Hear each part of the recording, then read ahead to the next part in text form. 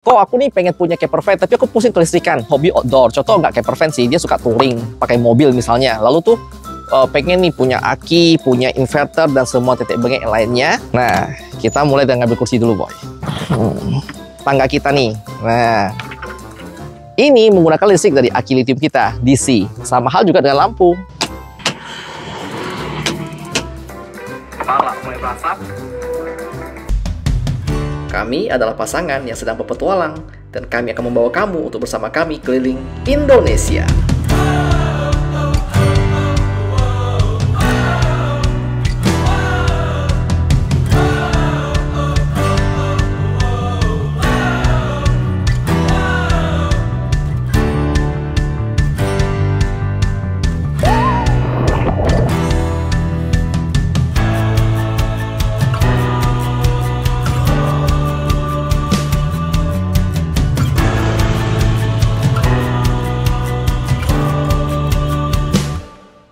Selamat pagi pada boy.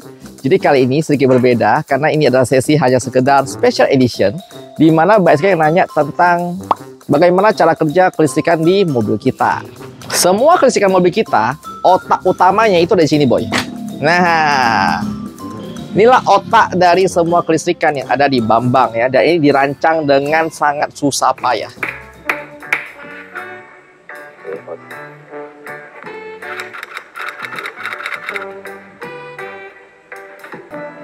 Tempat ke mana nih? Ya? Tempat maksudnya.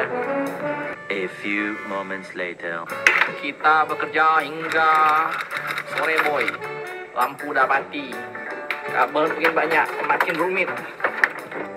Kepala mulai berasap. Kita mulai bekerja tanpa sekun. Keunggulan dari sistem kayak gini itu menyenangkan boy ya. Jadi kita bisa dapat listrik satu dari solar panel atas matahari, dua dapat listrik juga dari pas mobil bergerak. Jadi pas Bambang jalan yang ngecas, pas Bambang berhenti juga dia ngecas dari solar panelnya. Cuman sistem kayak gini itu cukup repot kalau kamu buat di Indonesia. Karena ya kamu akan butuh namanya seperti ya regulatornya lah ya. Jadi kalau dari solar panel mau ngecas ke aki itu butuh regulatornya ada PWM dan EPPT itu terlalu detail sih. Cuma intinya kamu butuh regulator lah. Dan kalau memang mau ngecas juga di alternator ke balap aki kita juga sama-sama butuh regulator juga yang nama DC DC charger. Nah, aki kita di mana sih? Aki kita di bawah boy. Nah, di bawah kita ada aki nih, aki yang 200 paha. Nah, cuma sebelum saya bahas aki, ya ini sih flashback dikit. Kita tuh udah pernah ganti aki sebelumnya. Jadi aki pertama kita pakai disebut dengan aki VRLA alias aki uh, deep cycle atau alias aki itu aki solar panel. Di mana keunggulannya adalah ya dia sedikit lebih murah dibanding aki lithium, tapi lebih besar dan kamu hanya bisa pakai kapasitasnya 50%.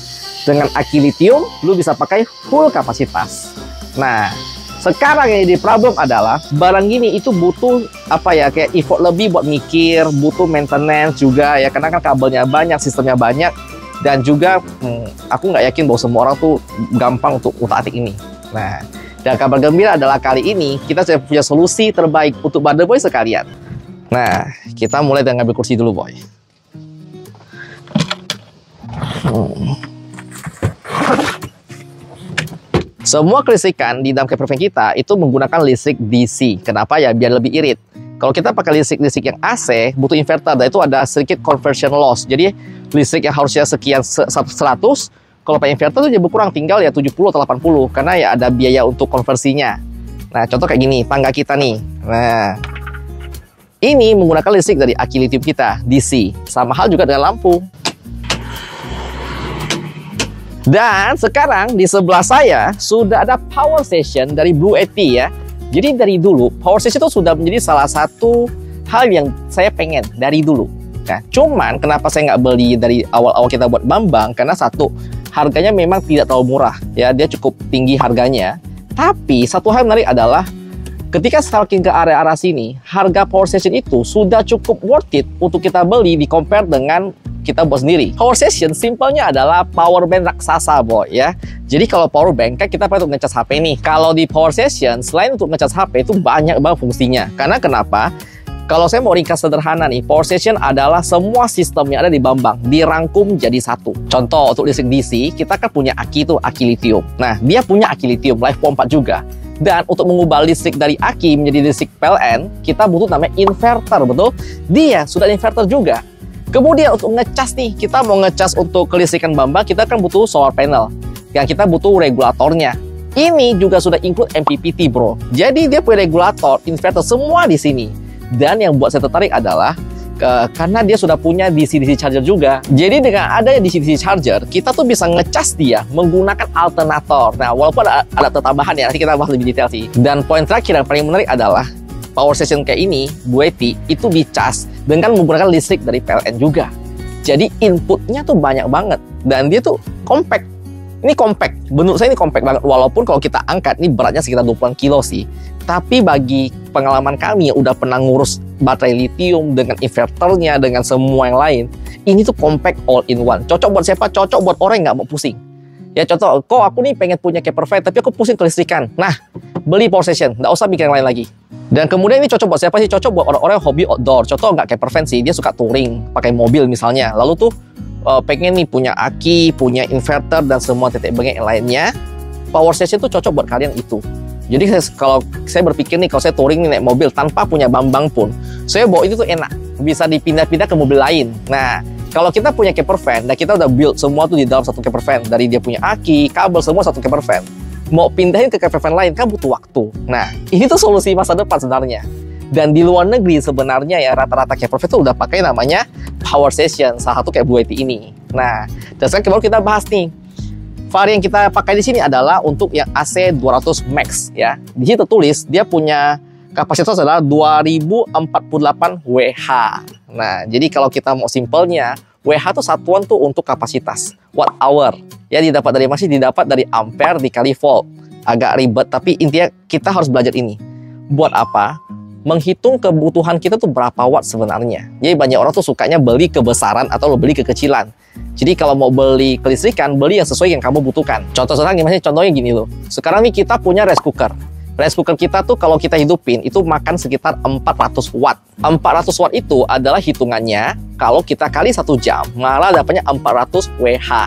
Kalau kita menggunakan 400 watt tapi hanya dipakai untuk setengah jam 30 menit, maka setengahnya doang, berarti dapatnya adalah 200 WH aja. Nah itu cara hitung sederhananya. Sama juga dengan untuk menghitung penggunaan untuk lampu dan yang lain. Jadi kalian kalau pengen bikin namanya sistem kayak camper van, hitung dulu kebutuhannya.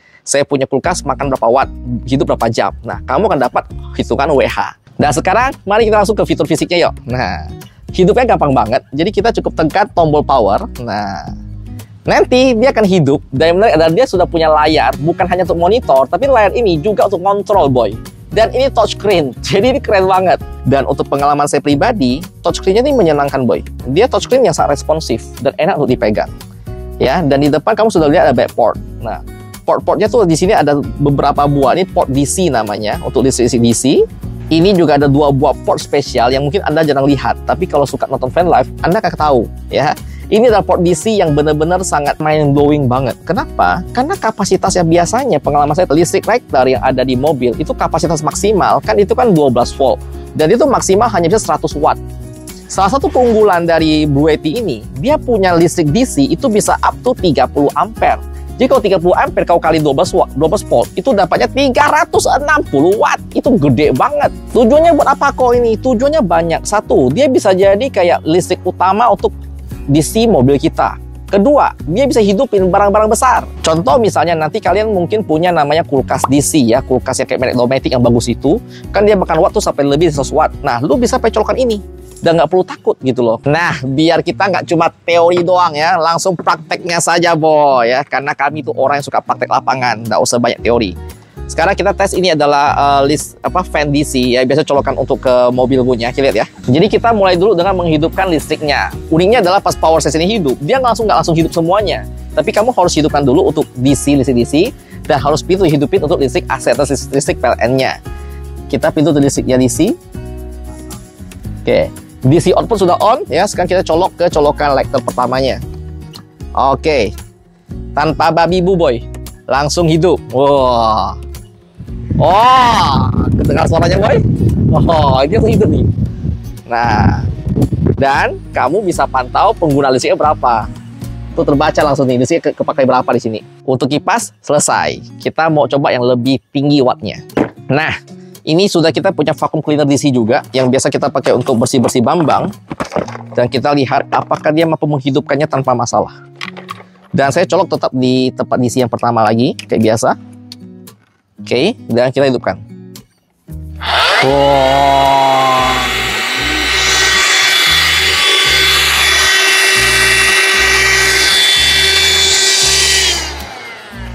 Nice, hidup tanpa ada kendala sedikit pun. Nah, dan kamu juga tetap bisa pantau penggunaan wattnya. Nah, berarti untuk DC-nya nice. Berikutnya, selain soket DC, dia juga punya soket-soket tambahan untuk ngecas seperti ya penggunaan normalnya HP, iPad, dan teman-temannya ya. Kita punya sini ada USB-C 100 watt, di sini kita punya USB-A ada dua buah ya dari berapa volt ampere di sini semua ada. Sekarang saya tertarik adalah bukan USB-nya, tapi di USB Type-C-nya yang dia tertulis bisa up to 100 watt. Ini gede loh. Dan kalau menggunakan Type-C, biasa ini sebutannya tuh adalah udah PD, Power Delivery. Maka dia akan menggunakan kabel Type-C to Type-C. Dan kita coba. Ini kita sudah punya kabel. Ini kabel GAN ya, GAN ya, yang biasa nih untuk power delivery dengan wattnya bisa up to 120 watt. Nah, kita mau tes dulu untuk di listrik PLN-nya. Caranya gampang, hidupin dulu untuk listrik AC-nya, oke. AC on. Sekarang kita colok dulu. Dan saya akan tes menggunakan HP ini. Ini adalah HP Galaxy Note 20 Ultra. Apakah dia mendetek untuk Wish super fast charging boy? Super fast charging langsung. Ya wajar, karena kan ini listrik AC nih. Nah, oke. Okay. Wattnya juga sudah termakan lumayan ya. Ini kita bisa baca. Dan setelah kita mencoba untuk ngecolok pakai colokan biasa, kita mau tes untuk colokan keduanya, yaitu USB Type-C to Type-C. Tanpa babi bu, langsung kita tes saja ke USB Type-C-nya. Dan ya, benar-benar murni 100 watt boy. Langsung masuk ke mode super fast charging. Jadi dia support langsung. Wow, nice. Jadi di bagian depan sini, kamu dikasih 4 buah colokan untuk listrik AC ya, untuk listrik rumahan ada 4 buah. Dan ini kapasitasnya, dia punya tegangan bisa up to 2200 watt totalnya. Ini tinggi banget. Kau bisa hidupkan AC, mesin las pun bisa hidup pakai ini boy. Dan saya rasa ini tuh bisa jadi solusi buat orang off-road sih. Karena biasa orang-orang off-road itu kan membawa mekanik, membawa alat-alat untuk kelistrikan. Jadi daripada pakai genset, ini bisa sebenarnya. Nah, tinggal kayak biasa, hitung aja lagi. Kebutuhan listrikmu berapa, dengan 2048 WH cukup enggak? Nah, ini sih sebenarnya solusi menarik karena dia nggak ada suara boy. Dan pas saya pegang-pegang ya, untuk build quality-nya, ini tuh terbuat dari plastik yang menurut saya kokoh banget. Ini bagus. Dan kabar menarik adalah rupanya bukan cuma ada di bagian depan, di atasnya juga ada dua buah tempat untuk ngecas wireless charging. Dan seperti biasa, kita mau ngetes lagi, apakah beneran bisa sih wireless chargingnya? Saya coba taruh di atas ya. Beneran bisa boy. 15 watt wireless charging. Gila, lu taruh aja di atas langsung ngecas. Ini sih benar-benar solusi banget buat kalian suka apa ya, traveling nomaden boy ya kotak serbaguna listrik PLN bisa listrik DC bisa lu mau wireless charging ada. Wow nice. Dan sekarang kita akan masuk ke port inputnya. Bagaimana cara kita ngecas barang ini? Jadi di sebelah kanannya saya terlihat sini ada beberapa input ya. Input pertama adalah untuk yang dari kabel PLN oke? Okay? dan kemudian untuk input kedua ini juga sama ya dia ada extension double. Ini nanti saya akan ceritakan nanti. Karena saya tertarik dengan fitur ini itu membuat saya mau pegang Blue Yeti ini untuk kita review. Karena saya tuh sukanya ada review barang-barang memang membuat saya tuh ini saya butuhkan banget dan ini bisa bantu juga banyak orang. Dia punya dua input di sini dan kemudian ada DC input juga. DC input ini adalah untuk listrik dari mobil. Itu bisa. Nanti dia ada fitur tambahan yang bisa ngecas dari tiga source sekaligus. Bisa dari PLN, solar panel, alternator. Gila nggak? Jadi barang ini kapasitas besar, tapi kita juga butuh input yang besar. Jadi dalam waktu singkat, cepat penuhnya. Keren kan? Salah satu fitur tambahan juga yang buat saya tertarik banget dengan Blue Yeti ini adalah dia tuh sudah bisa di pairing langsung dengan aplikasi di HP Boy. Kamu bisa pantau dia dengan koneksi via Bluetooth langsung di mana pun. Selama contoh nih kayak kita punya monitor untuk pantau kelistrikan kan di dalam Bambang nempel di dalam. Jadi kalau saya mau lihat listrik Bambang sisa berapa, saya harus masuk ke dalam Bambang dulu untuk lihat. Sekarang nggak perlu semua di HP. Even saya lagi di sini nih, saya bisa pantau di sini tinggal berapa berapa penggunaannya, berapa yang dicas masuk, dan juga ya enak banget. Kamu nggak harus pergi lihat monitor, tapi kamu bisa lihat dari HP. Dan bukan cuma monitor, ingat, dia juga bisa controlling. Dengan aplikasi yang sama, kamu bisa hidupin, matiin listriknya. Gila nggak loh? Ini brilian banget sih menurut saya sih. Jadi di dalam paket pembeliannya, kamu tuh sudah include dengan satu charger ya, itu dari colokan untuk rumah, listrik PLN langsung ngecas dia. Itu 4 jam penuh, karena bisa up to 500 watt satu kali cas ya. Dan kemudian juga sudah ada adapter untuk kamu yang punya solar panel. Kamu bisa langsung colokin ke adapternya doang, langsung bisa masuk ke dalam dia. Listrik PLN aman, listrik untuk dari solar panel juga aman. Dan terakhir buat kamu yang memang bener-bener lagi fokus mau kayak kami lah ya, camper van yang bener-bener living di van, dia sudah punya aksesoris tambahan itu disebut dengan DC adapter saya lupa apa namanya tapi ada itu kamu bisa pakai untuk ngecas dari alternator buat ke dia. Keren ya. Dan bukan cuma itu fitur terakhir juga adalah kita itu bisa extend dia punya kapasitas sampai dua kali lipat ya dengan ada baterai tambahan eksternal. Tinggal dicolokin doang. Tapi itu nanti ya di, di fitur berikutnya ya. Intinya ya kita excited banget sih dengan adanya pengembangan teknologi gini ya. Jadi ke depan saya rasa ya dunia fan life di Indonesia itu bakal jauh lebih berkembang lagi dengan ada power station yang memudahkan banget. Lu punya mobil biasa, tinggal power station, dan ada listrik. Tinggal tambahin awning, ya rooftop tent dan teman-teman yang lain, kamu udah bisa camper van keliling Indonesia. Keren kan? Kita juga mencoba untuk mencolokkan teko apa nih nama itu electric kettle, ya electric kettle. Dan ternyata dengan mudah memanaskan air dengan 800an watt tanpa ada bunyi mesin apa kan biasa kalau inverter kita pakai ginian tuh pasti dia punya fan tuh berputar nyala dan ini nggak ada fan sama sekali dan dia nggak panas padahal 800 watt loh. Gila nggak lu? Dan kepantau banget dia kemakan segitu. Ngomong-ngomong ini berarti setara dengan AC boy. Kalau listrik saya pernah coba pakai AC setengah PK saya hidupin. Walaupun dia 300 watt di depan ngomongnya. Pas kita colok pertama kali itu up to 700 watt ini 850 watt tanpa ada suara mesin. Gila nggak lu? Nice. Dan inilah semua fitur-fitur ya yang ada dari Blue IP ya, power station yang sangat menarik banget.